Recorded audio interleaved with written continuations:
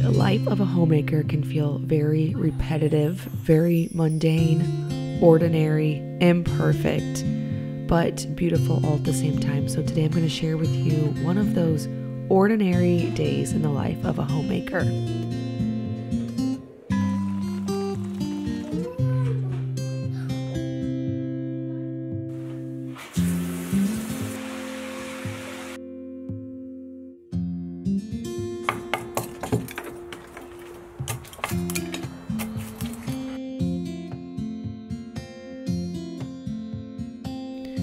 We are on a little bit of a post Christmas break right now. So life is moving just a bit slower. You can probably hear that I picked up a bug that's making it difficult to talk, but I'm gonna push through anyways. This morning I've been sitting around sipping coffee and chatting with Luke until about 8 a.m. Victor actually is sleeping in later than usual, much later than usual. He's actually been waking up pretty early lately, but last night I kept him out. We went to my sister's birthday party, and I guess because of that, he slept in a little bit later. I don't have anything planned for breakfast, but I do have a few things sitting in the fridge that will work just perfectly for breakfast. And then for lunch, I noticed in the fridge I have one pound of sausage that's thawed out in the fridge and I have a roast. So I grabbed another pound of sausage out of the deep freeze outside, set it on the counter, for a easy lunch today. We're just going to do soup with sausage. I'll get the roast in low and slow, serve that later with some roasted vegetables for dinner. I have some brioche dough hanging out in the fridge and some lard that's in this pot here on the back of the stove. I made the brioche dough several days ago. I had a little bit left over, put it in a glass container with the lid on it. As you can see, it fermented in the fridge. It, it, ferments a lot more slowly, but it does ferment and push the lid up a bit. I should have put it in a larger container because the top did dry out just a touch. That's okay though. It will still be delicious as homemade donuts. So I'm just going to take this brioche dough that I made several days ago that's been sitting in the fridge break off little sections of it and fry it in lard for some quick donuts. I'm going to toss them in cinnamon sugar. Now, I also did feed my sourdough starter because this afternoon I'm going to get bread going. That is a daily thing around here, especially in the middle of the week. Sometimes on the weekends, I let the bread making lapse, but during the week, I like to keep it going. We always like to have bread around here. If I'm if I'm feeling extra ambitious on a Thursday or Friday, I'll make up a double batch so that will carry us through the weekend as well.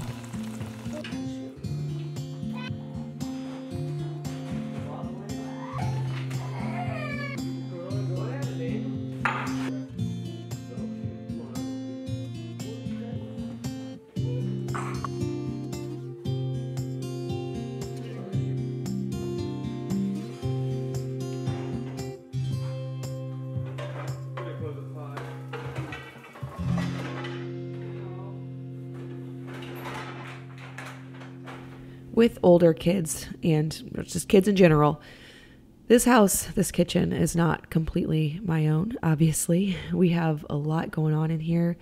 They're doing something this morning.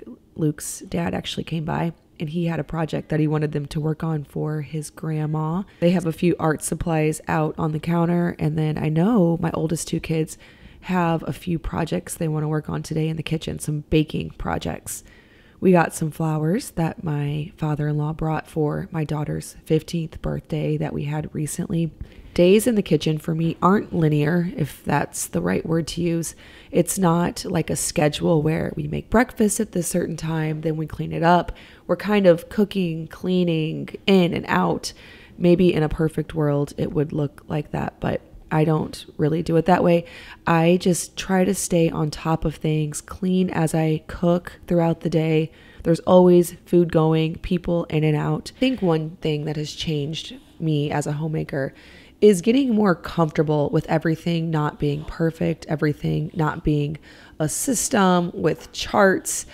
Maybe it's my personality, or maybe it's just the way you know, we've had more kids, they've gotten older, they have their own things, and seeing that everything can't be in a tidy little box with perfectly laid out systems. I remember whenever my kids were little, whenever I just had a couple and they were all under a certain age, I had a very set breakfast time, nap time. I had this paper on the fridge that showed which day of the week I did certain things. So I think it was like Monday was laundry, Tuesday was floors, there was a day for kitchen, baseboards, bathrooms. I don't really remember.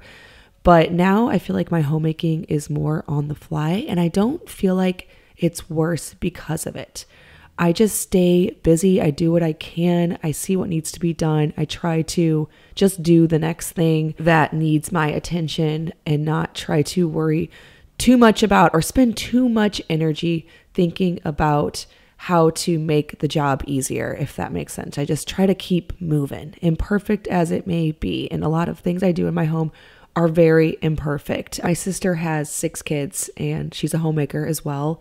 And we have a repeat conversation, so one that we enjoy talking about pretty regularly about all the things in our homes or with our kids that we used to think you had to do it a certain way, and then finding out there weren't really any negative consequences to doing it in a little bit of a different way. I won't go into all of the things, but there are tons. Like, just an example would be folding laundry perfectly or meal planning. Our lists, my sister and I, are different because we have different things that bother us or that we value.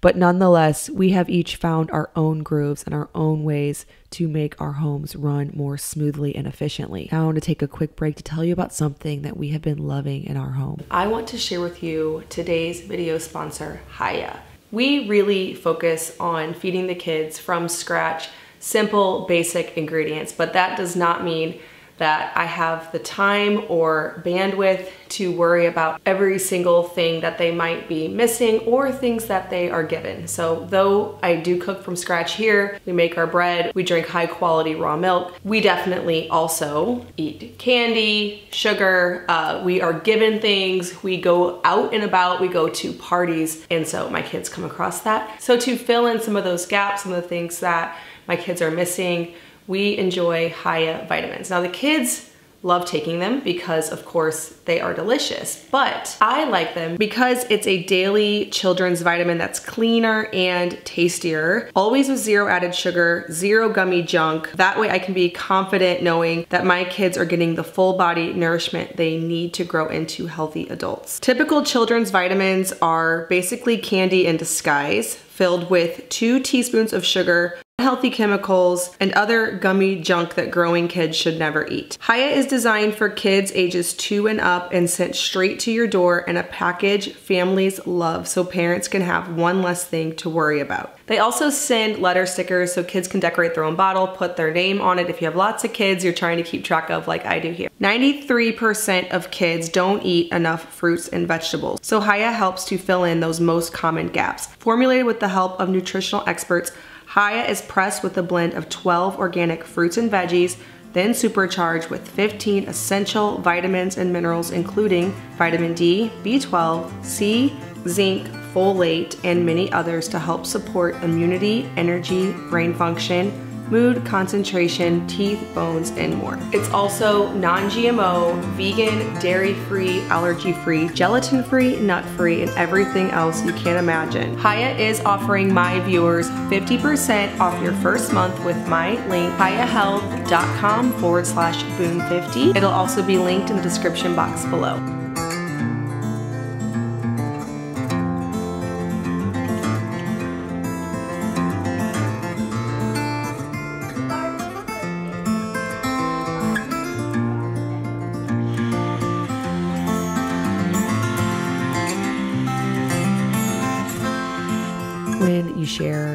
20 minute little sections of your life on the internet, there's a lot that we forget happens in between times or behind the scenes. And we can think that we're the only ones who experience things like interruptions, things like kids being whiny or fussy.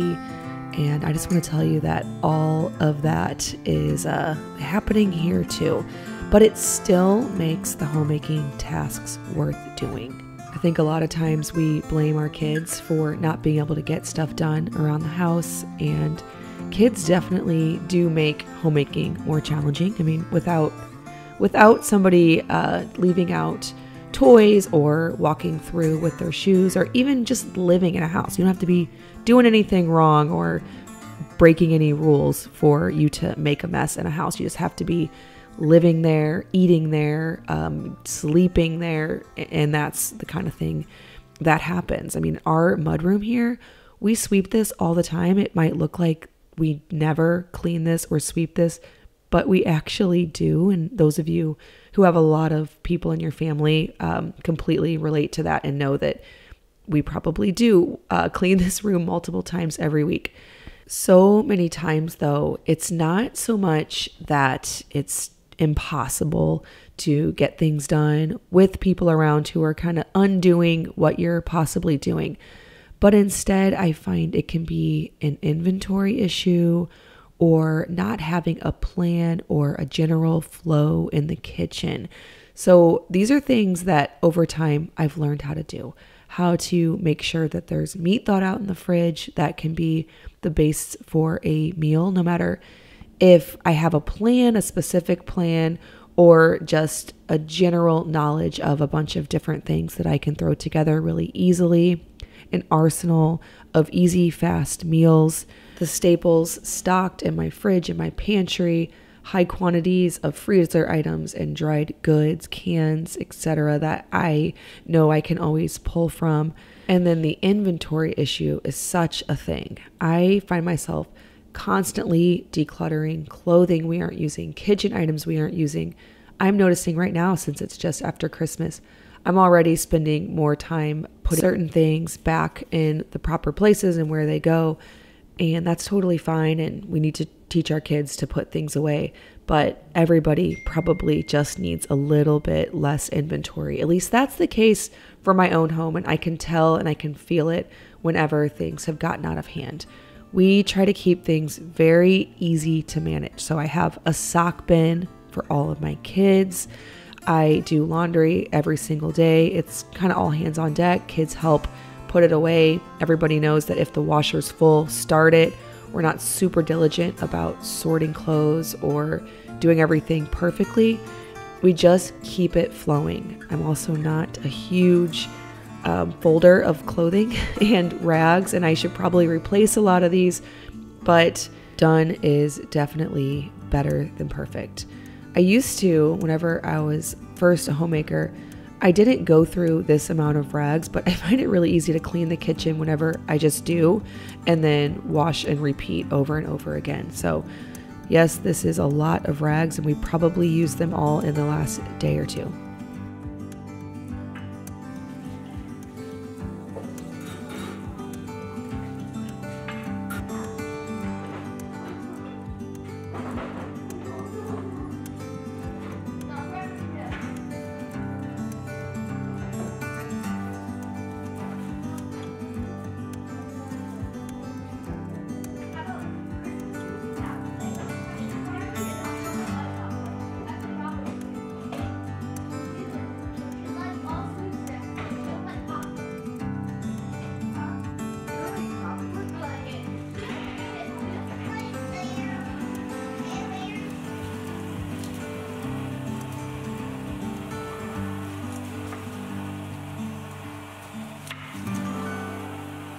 We still have onions and carrots from the garden. So I'm to make a real simple soup with that sausage I set out earlier. I had one pound sitting in the fridge already thawed, and then one that I got out of the freezer this morning and just let thaw at room temperature. I had some broth made. I just added in some garlic, onions, carrots, potatoes, sausage, broth, salt, and let that simmer. And then I don't think I actually show it here, but Johanna also made some ice cream. We make ice cream from raw milk pretty regularly around here. You know, speaking earlier of the way that we do things now, if you know you have children, things are a little bit different than how you used to do them. Sometimes we fall into the trap of thinking that just because they're different and it's definitely not as easy as it was to get things done um, whenever there are different interruptions or obstacles that you weren't used to before doesn't mean they're not doing, just in a little bit of a different, imperfect way. Over the years, I've just learned to do those things when it's loud, when it's messy, with kids at my feet or in a wrap or when they nap. That's all just the flow of a bustling household. And, you know, for me, having a large family means that I needed to figure out how to keep running the home or doing the things that I want to learn and explore, like making sourdough bread when I have toddlers at my feet, because this isn't just a season. I mean, it is a season. Ultimately, someday I won't have toddlers at my feet, but it's a very long season for me. Uh, my oldest daughter just turned 15. I have a five month old. And so it's been a very long season, one that I'm not just going to get through and move on, one that I'm want to learn how to continue improving and growing my skills as a homemaker, even with the interruptions.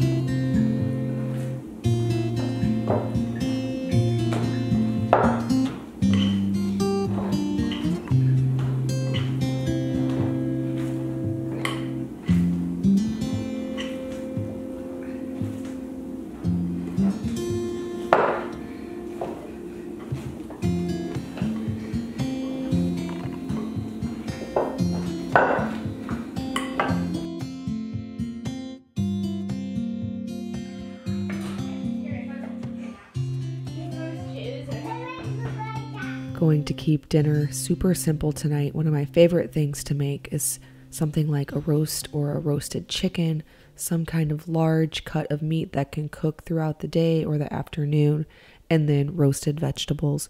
We have some beets from Azure Standard, some carrots from the garden, some Brussels sprouts that I just got from Walmart. So, a whole bunch of different places, but nonetheless, all things that will taste delicious when sprinkled with olive oil and salt and baked at a high temperature until they are beautifully roasted.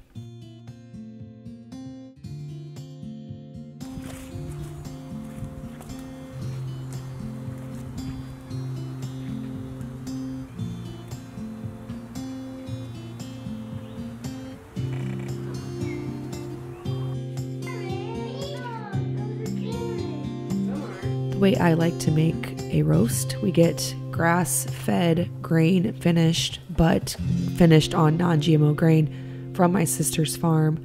And I put it in a cast iron Dutch oven with some oil or butter, sear it on all four sides or whatever side you can find on that roast. I like to really lock in all the juices by searing it really hot.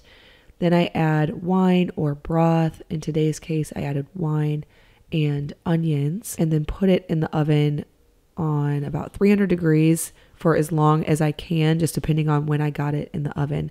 The longer it cooks at a slow, low temperature, the more tender it becomes.